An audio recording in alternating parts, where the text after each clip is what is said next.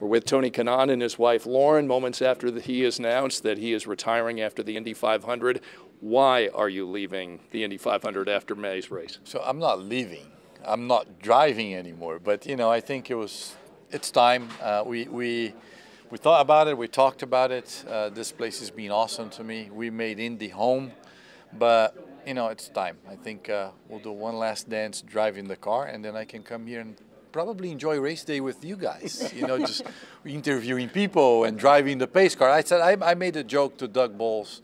I said, Doug, this is my final Indy 500, but I can still get to lead a lap maybe the following year if you get me the pace car to drive. You talked today about your emotions and what that will feel like on your final race day. Can you take us through those emotions as you visualize racing for the final time here?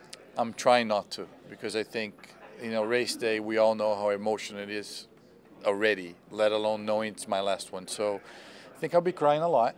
Uh, Lauren said she's probably not going to wear any mascara as well because she will be too. But uh, you know, it's going to be emotional for sure. But it's it's been a great a great run. I can't I can't thank the fans enough. I think uh, I'm here, and I am who I am because of them. So uh, we'll give them one more one more run. You finished third last year. There are a lot of people that think why not give it another go in 2024? Well, we're giving it another go in 2023. Mm-hmm. And if we win, you never know. Leaving the door open. Lauren, what was the discussion like with uh, Tony about this retirement at home?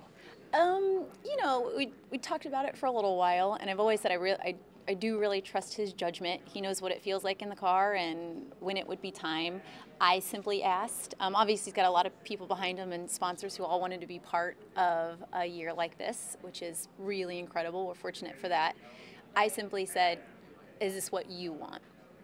And he said it is. So I have to trust that and just, I'll cry a little bit myself, I guess, because I sure will hate. Um, not getting to see him do it any longer, but it's true. I maybe I'll be a lot less stressed myself on race days going forward. So he says he's okay, so I'm okay. You've got four kids. What's the reaction been like with the kids hearing that dad's going to stop racing in the Indy 500? Well, actually, knowing my kids, uh, they are excited because I can spend the race with them at the bus at the at this track. So uh, obviously, Leo, the oldest, is kind of like, you know, asking some questions. Is it?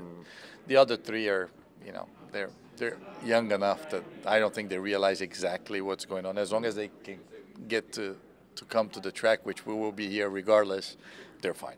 If this were a Hollywood movie, what would be the perfect ending come race day in May? Well, Hollywood is, you know, the perfect ending will be Tony Kanaan passes.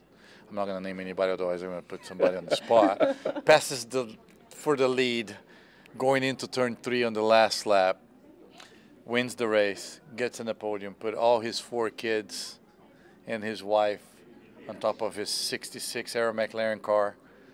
Um, and we drop the mic. That's, that's a perfect ending. That is a perfect ending. You've had a terrific career, TK. Thanks for all the memories. Thank you very much. Yeah, Lauren, great to talk to Thanks, you as well. Scott.